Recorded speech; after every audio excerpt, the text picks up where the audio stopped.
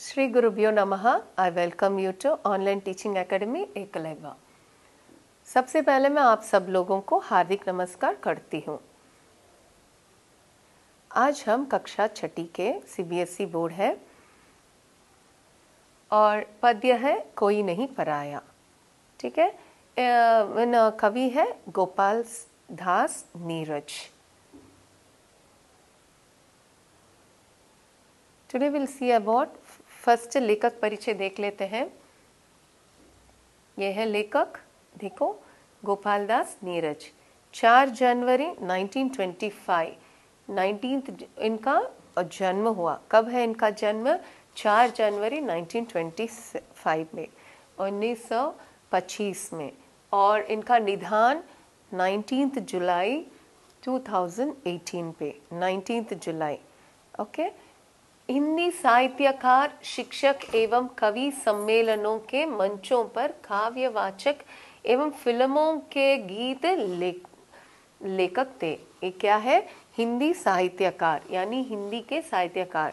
Hindi writer he is a Hindi writer and शिक्षक एवं कवि। दैट इज़ ये शिक्षक भी थे और कवि सम्मेलनों के मंचों पर काव्यवाचक एवं फ़िल्मों के गीत लेखक थे। ठीक है? वे पहले व्यक्ति थे।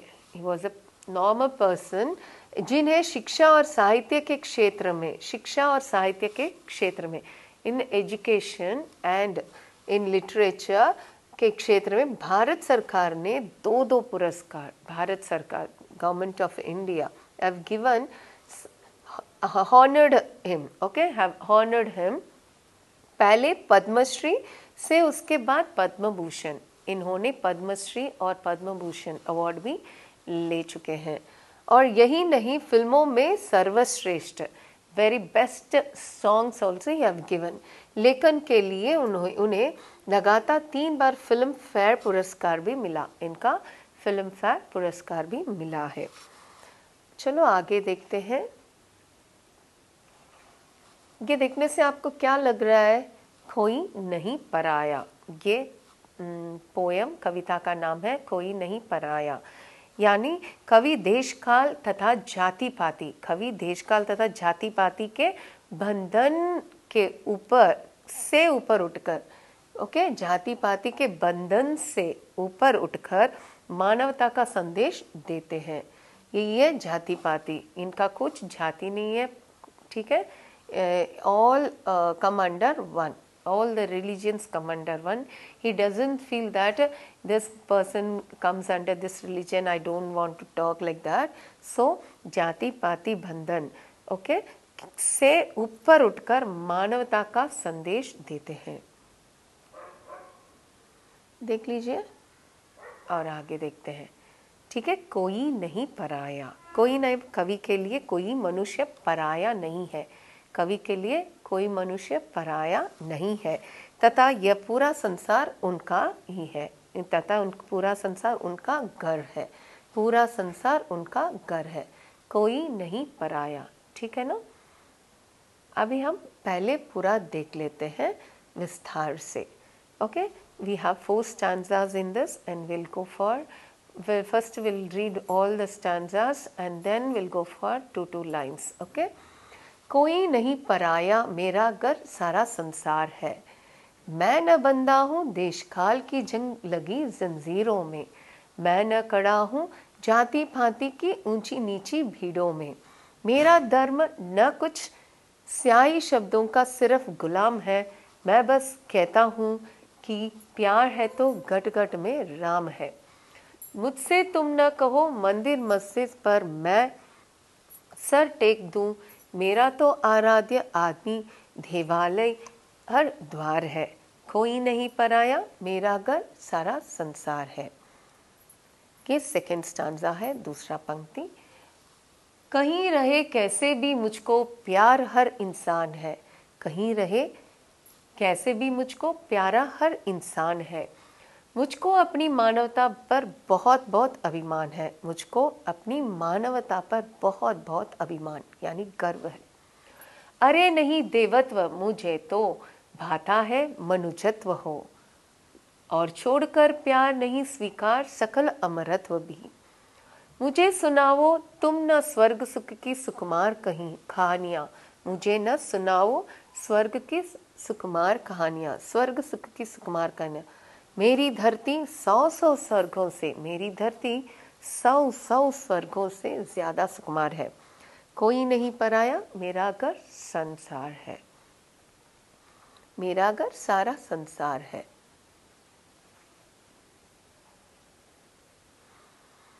मैं सिखलाता हूँ कि ये तीसरा पंक्ति है। मैं सिखलाता हूँ कि जियो और जीने दो संसार को। मैं सिखलाता हूँ कि जियो और जीने दो सारे संसार को, दो संसार को। जितना ज़्यादा बांट सको तुम बांटो अपने प्यार को।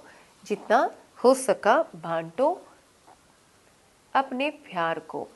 हंसो इस तरह हंसे तुम्हारे साथ दलित यह दूल भी हंसो इस तरह से तुम्हारे साथ दलित यह धूल भी चलो इस तरह कुचल न जाए पग से कोई शूल भी। चलो इस तरह कुचल न जाए पग से कोई शूल भी। सुख न तुम्हारा केवल जग का भी उसमें कुछ भाग है। सुख न तुम्हारा केवल जग से भी उसमें कुछ भाग है। फूल ढाल का पीछे पहले उपवन का श्रृंगार है। फूल ढाल का पीछे पहले उपवन का श्रृंगार है। कोई नहीं पराया मेरा घर सारा संसार है। कोई नहीं पराया, मेरा घर सारा संसार है। अभी देखते हैं फोर्थ स्टैंडा दैट इज़ चौथा पंक्ति। मुझे नहीं मिली है प्यास विषमता का विष पीने के लिए।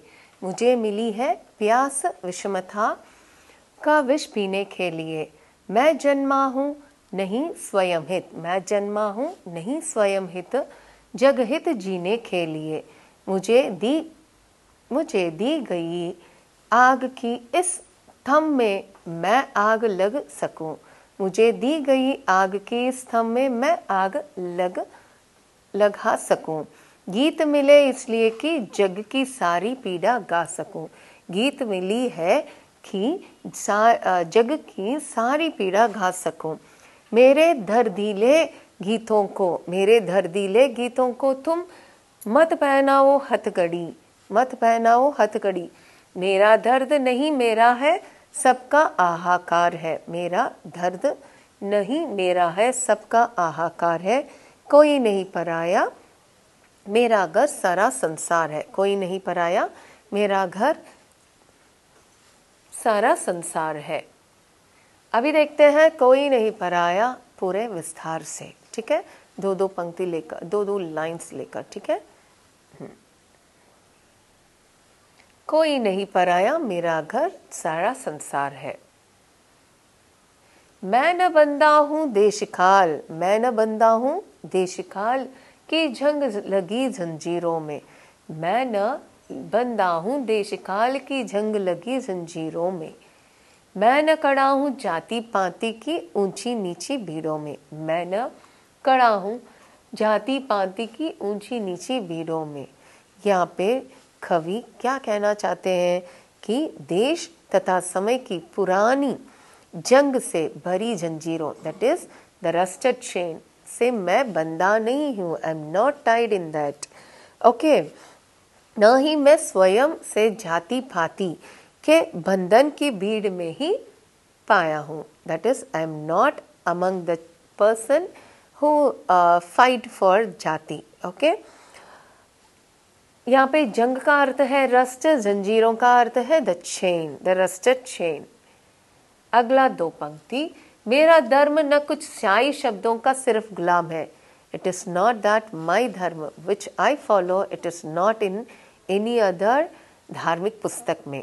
Okay the religion books like Bible Bhagavad Gita उसमें सब नहीं लिखा है। मैं बस कहता हूँ कि प्यार है तो गट गट में राम है। I say that if you show affection towards the मनुष्य that is towards a person that is enough in that itself the Ram भगवान है ओके okay? ईश्वर उन्हीं के ऊपर रहते हैं उसका दैट इज़ इस संसार में मनुष्यों से ऊपर आपसी प्रेम मनुष्यों से ऊपर आपसी प्रेम देंगे तो होगा तो तब खन खन में परमात्मा मिलते हैं ठीक है कण कण में परमात्मा का निवास होता है स्याही ब्लैकनेस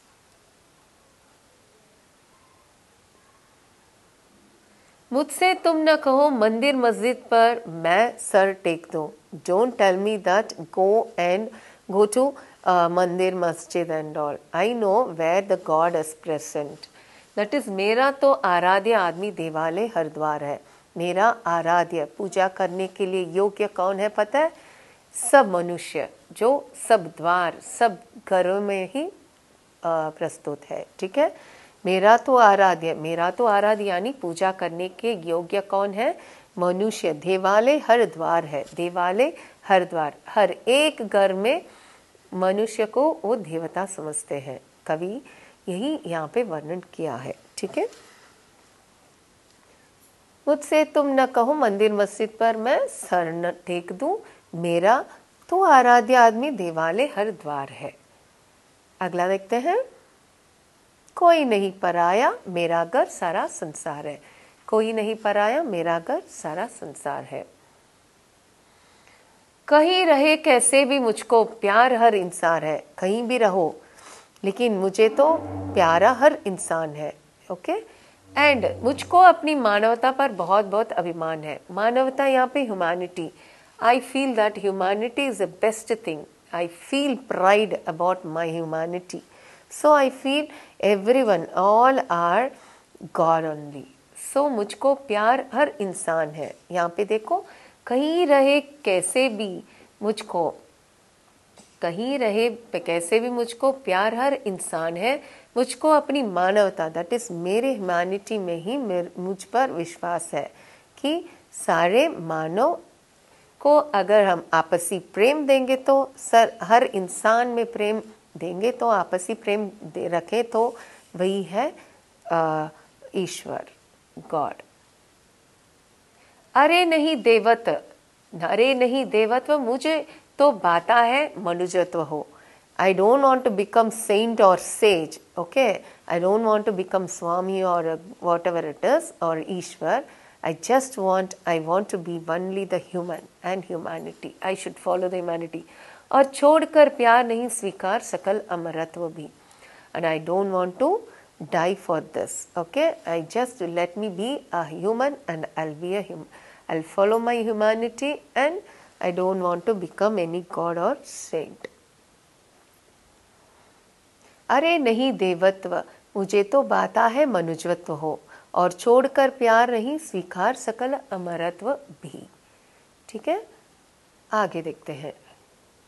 सो so, भाता यानी प्लीजिंग भाता का अर्थ है प्लीजिंग मनुजत्व मैनहुड एंड सकल दैट इज़ ग्रॉस अमरत्व इमोर्टैलिटी आगे देखते हैं। मुझे सुनाओ तुम न स्वर्ग सुख की सुकुमार कहिया। Don't tell me the the heavenly things whatever happen स्वर्ग सुख की सुकुमार कहानियाँ I don't want to hear all this thing मेरा ध, मेरी धरती सौ सौ स्वर्गों से ज़्यादा सुकुमार है। My this earth is hundred times better than heaven his kavi started saying that okay मुझे सुनाओ तुम मुझे मत सुना मुझे सुनाओ तुम न स्वर्ग सुख की सुकुमार कहानियाँ। मेरी धरती सौ सौ स्वर्गों से भी बहुत सुकुमार है। सुकुमार यानी वेरी स्मूथ ही सिंह कोई नहीं पराया, मेरा घर सारा संसार है। कोई नहीं पराया, मेरा घर सारा संसार है। मैं सिखलाता हूँ कि जियो और जीने दो संसार को। मैं सिखलाता हूँ आई विल टीच देम जियो, कैसे जीना है इस संसार में, कैसे जीना है इस संसार में। जीने दो संसार को भी ओके जितना ज़्यादा बांट सको तुम, बांटो अपने प्यार को। जितना भी आप चाहे अपने प्यार को, आपसी बंधन को बांटो तो वही हमारा ईश्वर है। करके कवि कहना चाहते हैं, मैं सिखलाता हूँ कि जियो और जीने दो संसार को। जितना बांट, ज़्यादा बांट सको, तुम बांटो अपने प्यार को। ठीक है? आगे देखते हैं।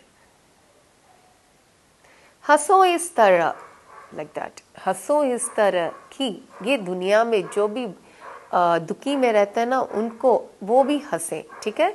जो भी दुख में दलित दैट इज़ डिप्रेस है, वह भी हंसे। यानी हंसो इस तरह हंसे, तुम्हारे साथ दलित या धूल भी, चलो इस तरह कुचल न जाए पग से कोई शूल भी। यहाँ इसका अर्थ क्या है? चलो इस तरह कुचल न जाए पग से कोई शूल भी।